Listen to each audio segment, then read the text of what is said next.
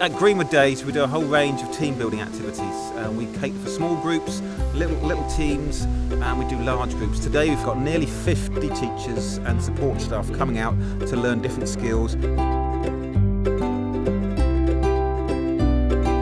We're doing some pole lathe turning. They're doing some draw knife work, they're making string out of nettles, campfire cooking, weaving willow,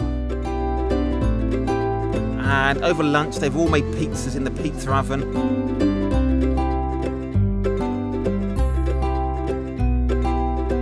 From Oak Hill Primary School in Leicester, you can hear everybody chatting in the background and that was the main purpose for us so that we really gelled as a team and I think we've had a really successful day.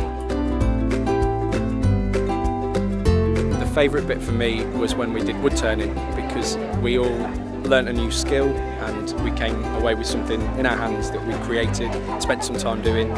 A really nice environment, obviously it's really relaxing and completely away from everywhere and that really gives you the chance to get to know each other properly. We've got a lot of new staff at the moment. It's been great that we can spend time talking and learning new skills together.